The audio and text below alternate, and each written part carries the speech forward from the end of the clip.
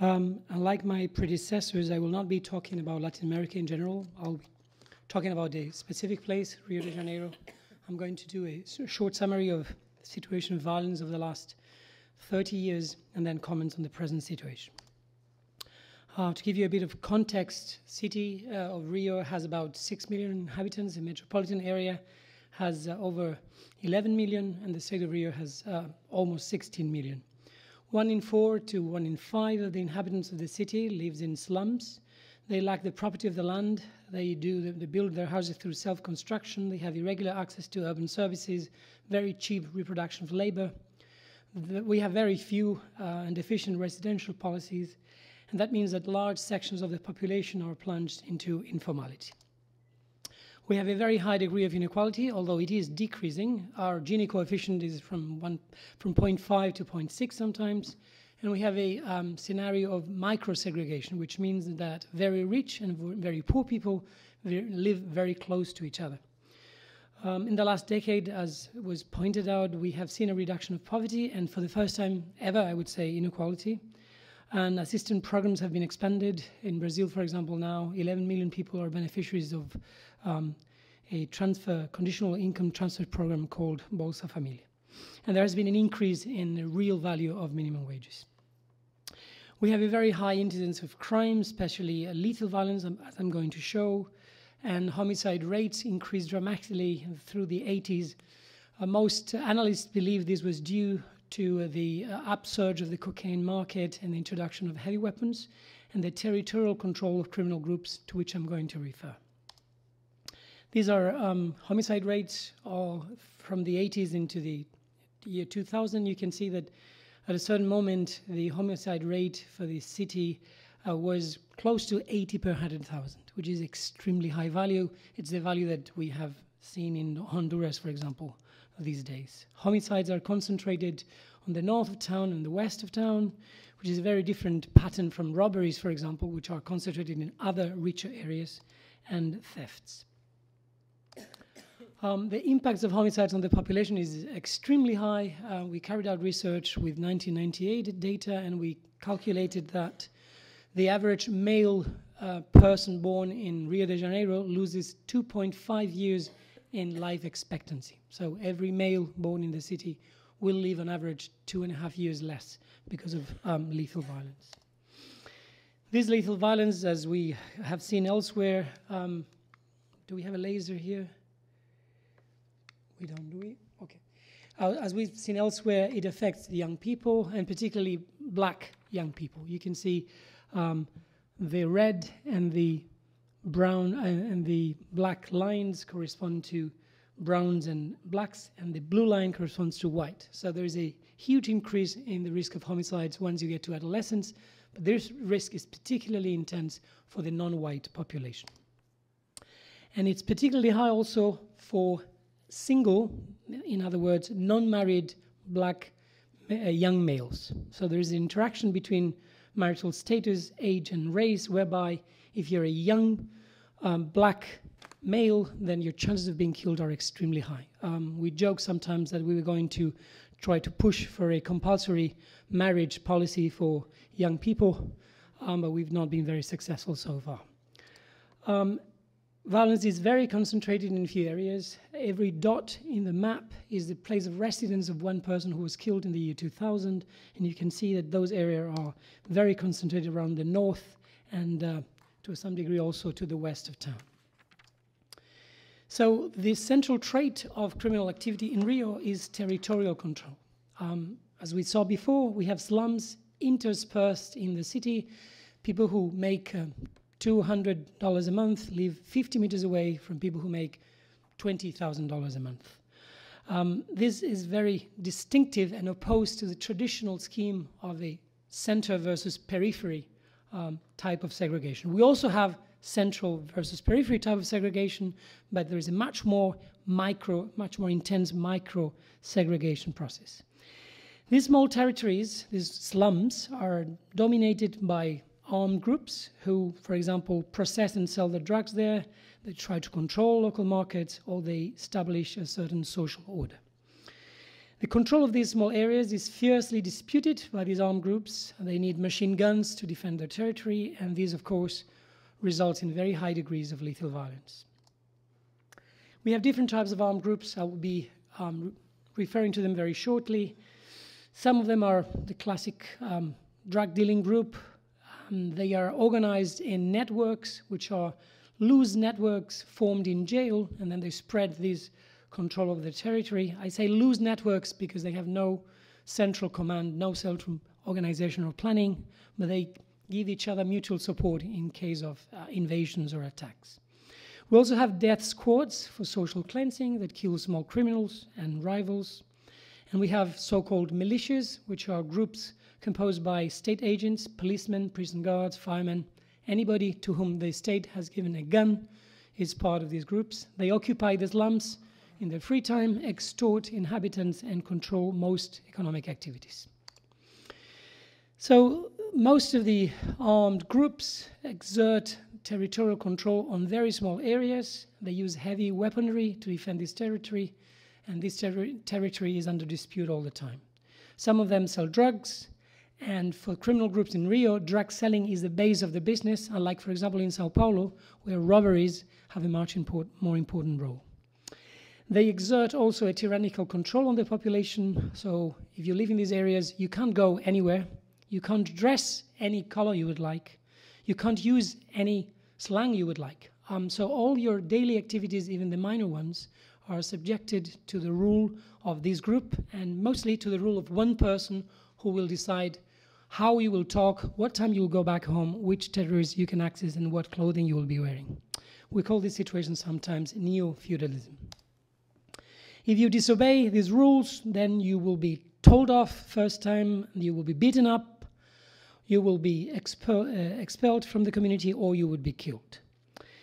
Um, so, as I said before, these territorial groups dispute control of the territory, and in practice, people don't have formal rights. Um, there is also a loss of communal trust, and these criminal groups also um, carry out assistant activities. For example, they pay for parties, they pay for drugs, they pay for burials, they pay for things that the state doesn't cover.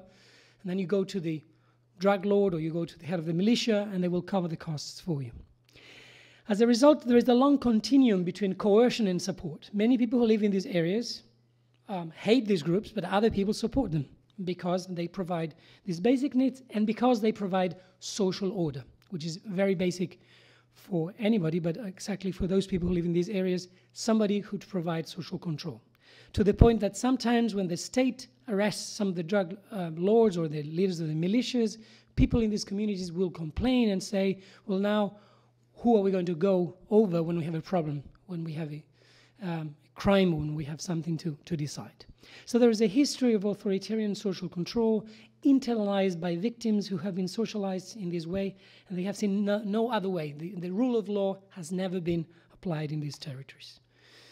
So local leaders and residents association leaders are killed sometimes or threatened or integrated into the criminal groups. Um, in order to be tolerated, at least they have to make sure they don't disturb um, the business of these groups. Often they're asked to mediate between the state and these armed groups and then the state asks them to mediate, but the very state that asks them that will stigmatize them and associate them with criminal groups and with organized crime. So these armed groups make it impossible to generate an independent political leadership and political change.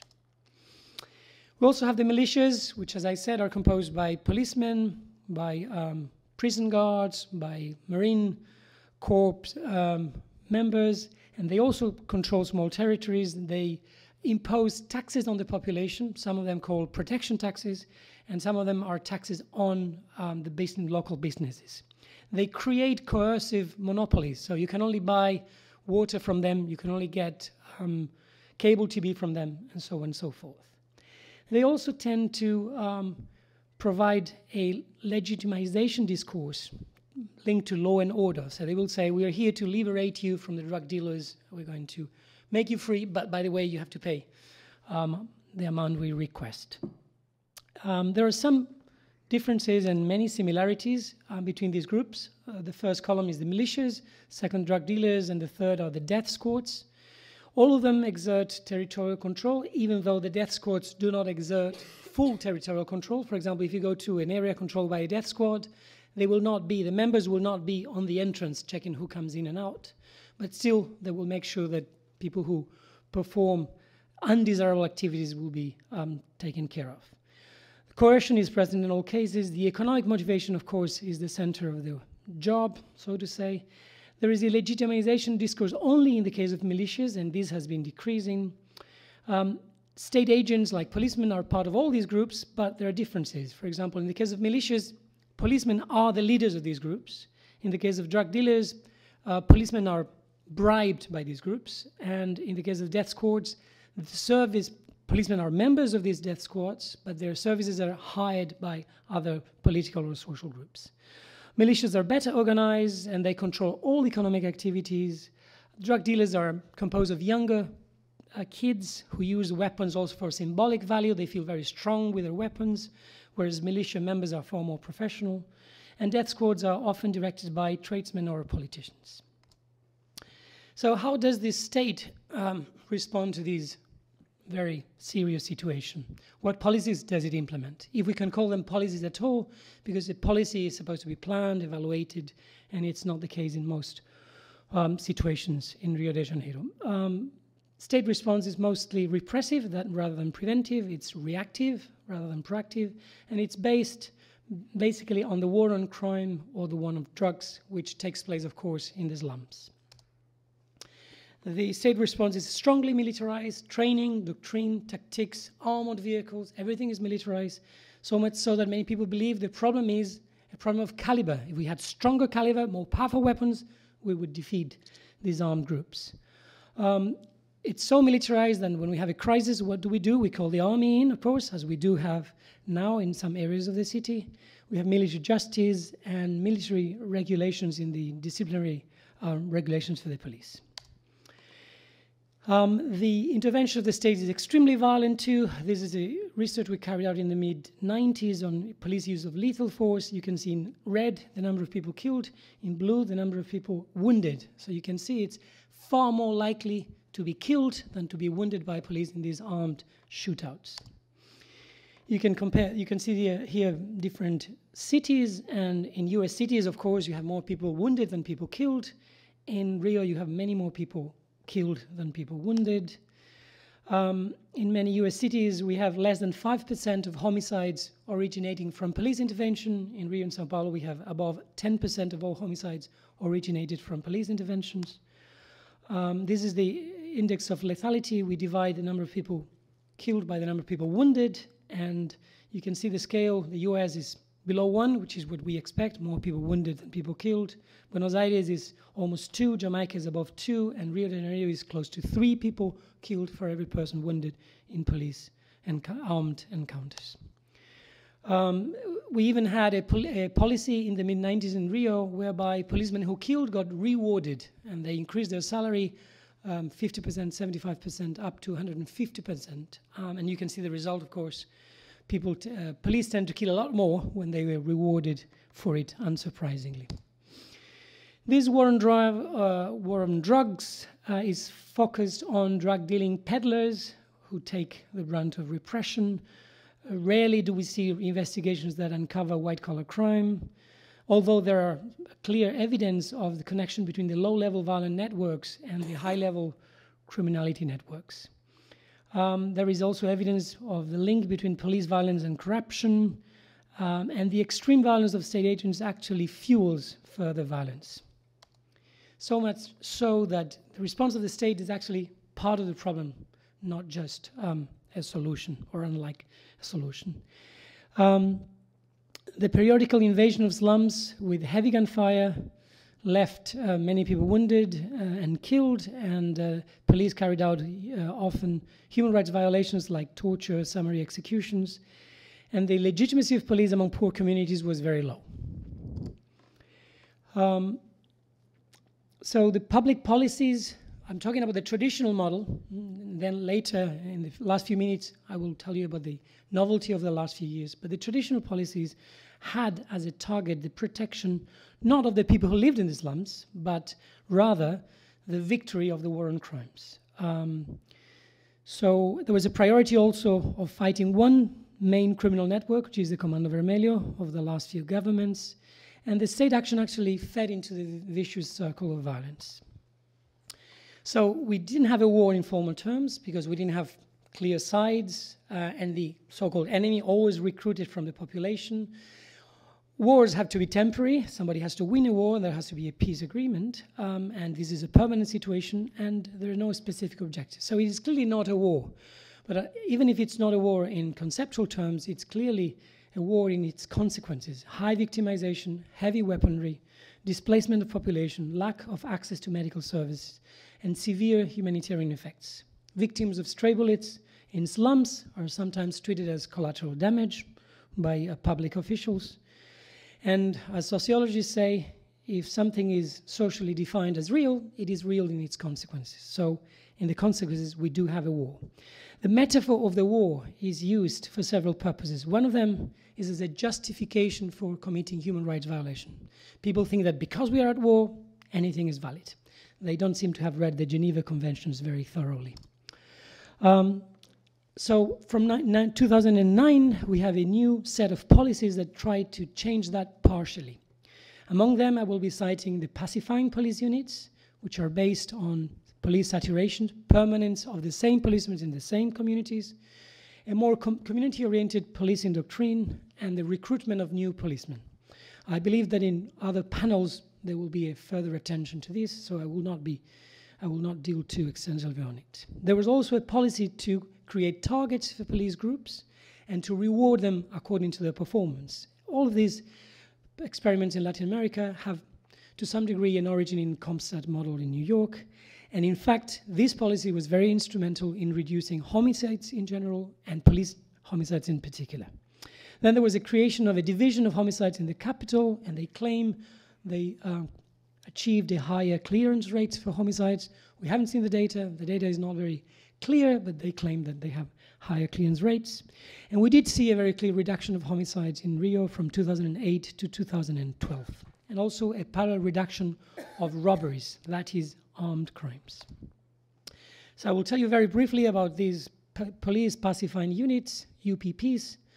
We carried out an evaluation in 2012 and we estimated that there was a reduction in violent deaths of up to 48% in these communities where the project was implemented. This model uh, controlled for the evolution of homicides in the rest of the city. So this is the net effect of the UPP project. There was a parallel increase in non-lethal and unarmed crime, partially due to reduced underreporting rates. In other words, people who never went to the police to report a crime now, not only do they go, but also the police, if there is trouble, will take them to the police station to report the crime. So there's a, a huge increase in reporting rates.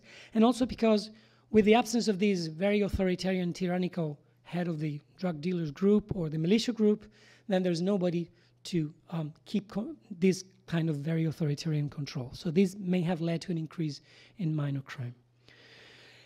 This was for us, above all, an opportunity to reform police and police policies and to leave behind the war on drugs. Um, this UPP intervention was very selective in territorial and in social terms.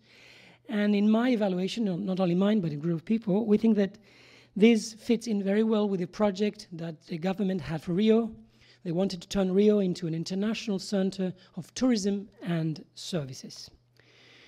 This is the uh, statistical model. You can see that for every, this is pre-post, um, but this is the net effect. You can see that in every community, we have half a death per month due to the project. So that means that six lives are being saved in every community every year because of the project. Um, in terms of rate, the reduction in rates is approximately 60 per 100,000, which is a huge reduction in homicide rates. This is the number of people killed by police. You can see that it increased steadily from 98 into 2007, um, and then it started decreasing. And after 2009, 2010, there was a very strong decrease. And whereas in 2007, the police killed 1,300 people every year, the last two years, the police have killed 400. It's, it's still a very high number, but it's about a third of what we used to have. So in some, in some communities, they say that these pacifying units mean that the police are pacifying themselves. And this is where the UPPs are located. Uh, the map is not very good, but in yellow you can see the location. And if you bear that in mind and you can see the, um, the most violent areas of town, you can see that the most violent areas are in the north and the west, whereas the UPPs are in the center and the south, and they're slowly going to the north. Um, now we are in very strong crisis lately. Uh, homicides have been increasing in some areas like the Baixada Fluminense since 2012 and in the state as a whole since 2013. So after a few years of a strong decrease, we are now again um, on the increase. Robberies also increased over the last year. And in our opinion, there is an exhaustion of the positive impact of the old policies. Policies have not been evaluated and they have not been adjusted for several years. You can see the trend here uh, in red is the overall state, and you can see that after many years declining, it started increasing in 2013.